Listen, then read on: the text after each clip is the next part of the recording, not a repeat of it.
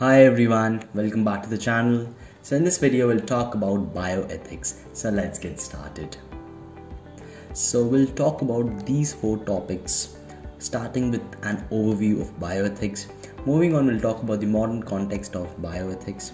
With that we'll talk about the medicines in the changing world and then we'll talk about the codes to regulation to laws. So with that, so talking about this picture as you can see here. So whether ethics ethia legal moral overlap. So are all these terms same?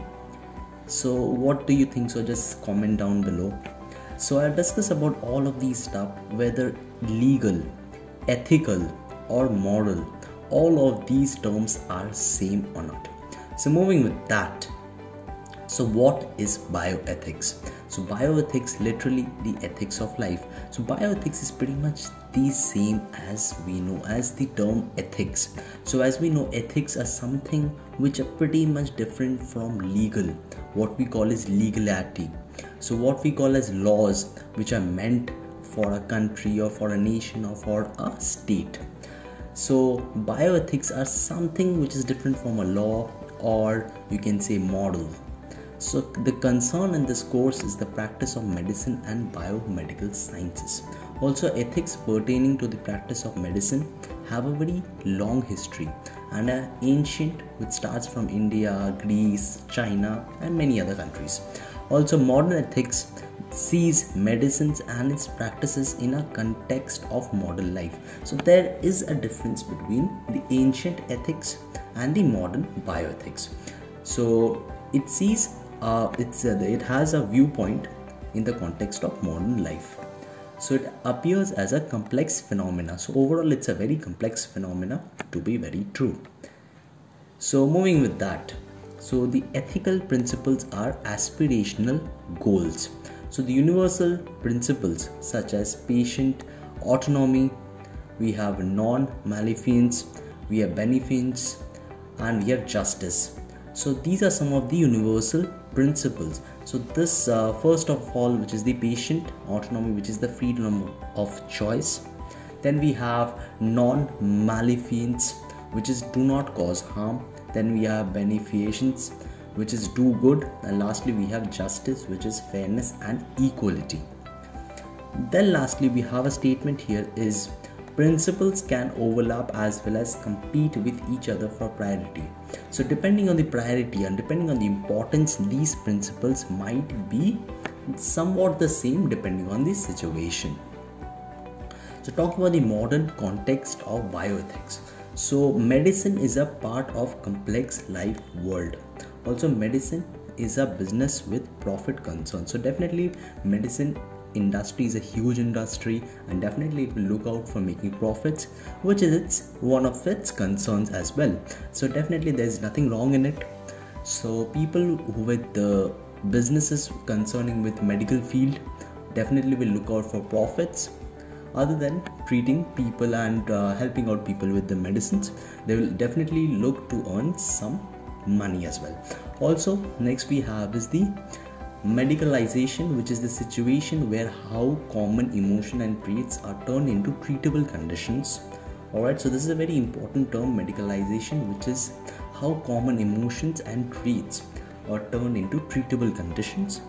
Then we have overuse and reliance on technology so which is a very much very big concern in today's world. So as technology is increasing day by day and our reliance on technology is increasing day by day so we are somewhat tending to overuse it or misuse it in some way which is harming us. So with that we talk about some more modern context of bioethics which is redefining the role of physicians and other healthcare professionals as well as patients. So we are redefining roles or reassigning roles of physicians and other healthcare professionals as well as patients we have professional autonomy, which is different spheres of modern life. We have fragmentation of modern life. We have rights of patients as well. So everyone has equal rights, as we know, and their rights differ according to their profession.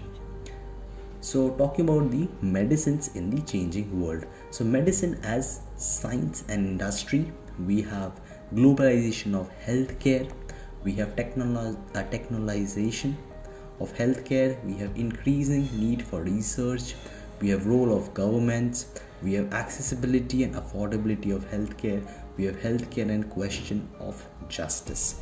So the medicines just not mean drugs which people use for treating a certain kind of disease. Medicines in general we mean what it helps a common people other than diseases all right so medicine the science and industry which is a boom for the entire world. We have globalization of healthcare. So the medicine industry or the medical industry is over is present all over the world leaving no country behind. We have increasing need for research. As day by day the research industry is also increasing and there is discovery of new drugs as we are mo- as we are moving forward we have role of the governments role as governments are increasing their funds or the budgets for the medical industry so that more funds and money is invested in this particular industry so that a proper research can be done and thereby we can treat more diseases which are untreatable today also accessibility and affordability of healthcare so which is very important because every person should have the accessibility and affordability of healthcare.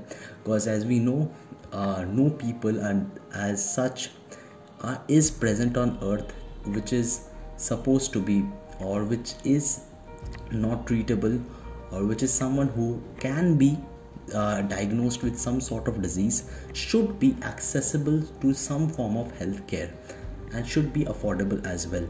So basically yeah, there should no there should be no people in this world who should be deprived of this particular accessibility of healthcare. Also we have healthcare and question of justice. So th- there are people in rural areas who cannot afford this much or this service of healthcare. So this particular point comes into place where prices for them or somewhat accessibility could be increased by helping them by providing them free medicines. So the question of justice arises here.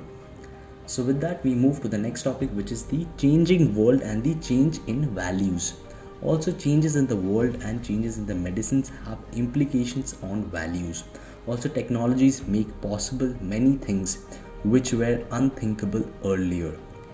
Also roles redefined we have patients physicians family members. We have religious and traditional values are challenged. So this changing world and the changes values is occurring as we move forward. So a decade before the world we the point of view the point of view we used to see the entire locality or this entire society was pretty different. And the values we have today was pretty much different 10 years before. So there is a different in my difference in mindset that we have incorporated over the change in period of time. So with that we talk about the change the changing world and the change in values versus the some other forms of it. So we have introduces new model dilemmas like selected reproduction or sex selection or family sex balancing. We have ideas of family we have do couple from same sex marriages constitute a family are surrogate mothers part of families. So these are many questions that arise that have uh, that have stood up in the time period that we have that has passed on so some of the questions that have arrived on the physician's duty to save life is physician's assisted suicide or physician's participation in torture or disclosure of medical errors. So physician patient relationship is also exposed or also shed some light and talked about in recent times. So this is a huge change in attitude of people and understanding of people in their mindset how they see things so this is this uh, you can see the change in characteristics of people as well. So talking about the last part of this video which is the from codes to regulations to laws. Also the ethical codes of physicians emphasizing responsibilities of the physicians also most self-regulating in nature. So as we know we are self-regulating in our nature only. So we tend to change. We do not re- remain the same over a period of time. We tend to adapt to new changes. All right so we have the next point which is oath fails to incorporate many new ideals that are held dear to medical practices such as uh, societal or legal responsibilities, research ethics, and accountability in collaborative patient care models. So, an oath, so the oath which is made uh, many years before, which might fail or which might fail to fulfill some of the understandings or some of the rules that are defined or made by today.